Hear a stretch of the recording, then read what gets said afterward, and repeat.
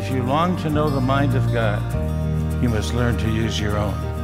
Can you answer everyone who asks you a question? Makes no sense to say Jesus is the Son of God if there is no God.